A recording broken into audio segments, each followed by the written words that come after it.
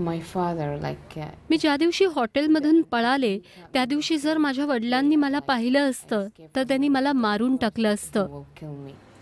दलाल आणि दुआ अल शोएकी या दोघी बहिणी सौदी अरेबियातल्या त्यांच्या घरातून पळून आल्या आहेत. वीस आणि बावीस वर्षांच्या या बहिणी त्यांच्या वडिलांबरोबर टर्की इथे सुट्टीसाठी आल्या होत्या. पण त्यांनी तिथल्या हॉटेलमधूनच पळ काढला. आम्ही इस्तंबूलमधल्या एका घरात त्यांना भेटलो. आता त्या दुसऱ्या देशात आश्रय मिळवण्याच्या प्रयत्नात आहेत. Uh, मी दहा वर्षांची होते तेव्हापासून ते मला नकाब आणि हिजाब घालण्यासाठी बळजबरी करायचे. आणि कोणत्याही कारणाशिवाय ते आम्हाला मारहाण सुद्धा करायचे. Uh.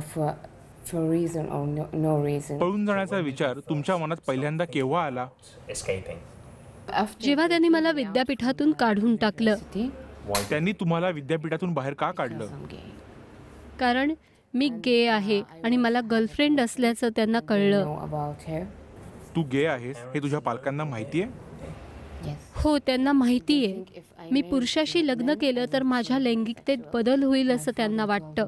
माझ्या वडिलांनी मला सांगितलं की त्यांच्या ओळखीतल्या एकाला माझ्याशी लग्न करायचंय. ते म्हणाले की तो त्यांचा मित्र आहे आणि त्याला दोन बायका आणि मुलं आहेत. त्याचं वयही जास्त आहे. हे ऐकून मला धक्का बसला. मला जास्त वय असलेल्या आणि बायका मुलं असलेल्या माणसाशी लग्न करायचं नाही असं मी म्हणाले. पण त्यावर ते म्हणाले त्याच्याकडे भरपूर पैसा आहे.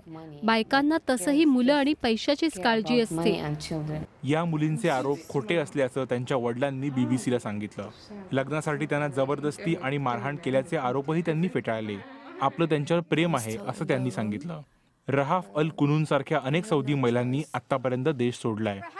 जानेवारीत तिने बँकॉक एअरपोर्टवरून पळ काढला. आता तिला कॅनडात आश्रय मिळालाय. मला फक्त सुरक्षित राहायचंय.